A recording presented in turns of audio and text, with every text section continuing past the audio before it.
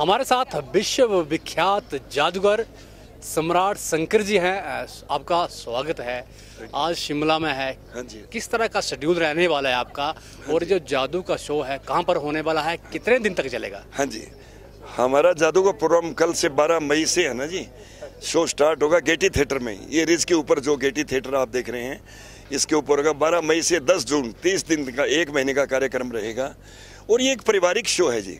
जिसमें छोटे बच्चे से लेके बड़े तक इंटरटेनमेंट करते हैं क्योंकि कई फ़िल्में हैं जो बच्चों के साथ अपने नहीं देख सकते। और ये कैसा शो इसमें कोई वर्गलिटी वगैरह कुछ नहीं होती। आप चैरिटी के लिए भी कई बार जादू करते हैं जादू शो करते हैं। तो शिमला में इस तरह का कुछ प्रोग्राम है हाँ, शिमला में है ना जी जैसे पहला शो एक चैरिटी के लिए Red Cross in the aid of Red Cross है। इसमें मान लिया हमारा फिफ्टी थाउज़ेंड के डेली के खर्चे वो हम कुछ नहीं ले रहे। जो भी बुकिंग होगा चाहे चालीस हज़ार पचास हज़ार साठ हज़ार बीस हज़ार दस हज़ार जो वो सारा एक रेड क्रॉस के लिए होगा। ऐसे हमने विकलांगों के लिए है ना फ्री ऑफ़ कॉस्ट शो हम लोग देंगे। ऐसे स्कूल के बच्चों के लिए ओनली फिफ्टी रुपीज़ का टिकट रखा है जो स्कूल ड्रेस के अंदर आएँगे या कई बच्चे 200 300 बच्चे 400 बच्चे। तो ऐसे बीच बीच में हम लोग चैरिटेबल संस्थाओं के लिए भी वैसे भी अपने और शिमला तो हमारा बिल्कुल इस प्रकार का निजी क्षेत्र है ये जादू जो है ट्रिक है या फिर अ, कुछ और है? नहीं जादू तो एक कला है जी एक फाइन आर्ट है।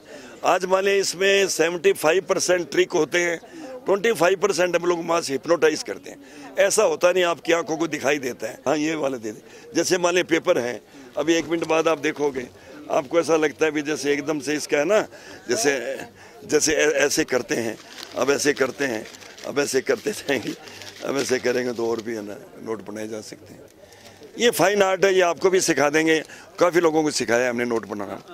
सम्राट जी जिस तरह से आपने ये जादू दिखाया है, इसकी आड़ में कुछ लोग बाबे बन गए और आपके पास भी इस तरह की अप्रोच आती है कि हमारे को भी ये सिखाओ? ऐसे जी काफ़ी लोग आते हैं, लेकिन जो इस कला का दुरुपयोग करते हैं ना जी, उनको हम नहीं सिखाते। हम एक फाइन आर्ट के रूप में आपको देखते हुए भी कितने कोई बात नहीं, कितने साल हो गए, चालीस साल से प्रोग्राम कर रहे हैं। तो उन लोगों को सिखाते हैं जो इस कला का दुरुपयोग नहीं करते अब काफ़ी लोग हैं जो हिप्नोटिज्म का ही मिसयूज करते हैं। कोई लेडी को सम्मोहन कर देते हैं कई बाबे।